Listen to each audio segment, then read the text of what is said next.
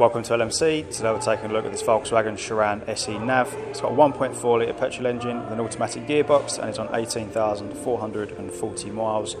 Perfect family car, especially if you've got a larger family as it can seat up to seven people. Finished off beautifully in this deep blue colour with alloy wheels to contrast and chrome accents around the windows with brushed silver roof rails. Up front you've got parking sensors, some nice chrome pieces in the front grille and a very nice looking front end altogether. Then as we make our way around to the side and rear, got slight tint on the side and rear glass here. Nice long rear shape coming back. These big rear lights and rear parking sensors as well. Now open up the boot. As you can see here, it's configured at the moment to seat five people, three in the centre, two in the front, and an incredible amount of boot space back here as well. Nicely lit as well. And by simply pulling these handles,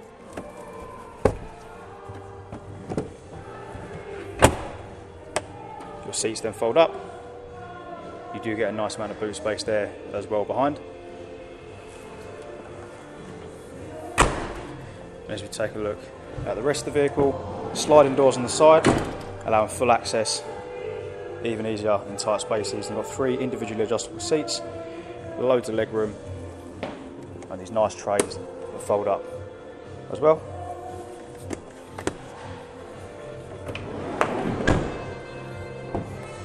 Up front, you've got your window controls on the door card, automatic headlight controls, beautiful seats up front with plenty of space, leather armrest, and you've got these little storage containers up here that drop down like so. They have little shelves inside.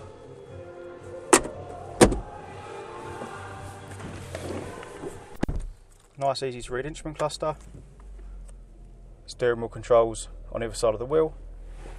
Then up above the screen you've got even more storage on the dashboard and that's followed up by this head unit featuring maps navigation, radio, different media sources like CD, Wi-Fi, Bluetooth and USB and then there's also a Bluetooth connection for your phone for hands-free as well.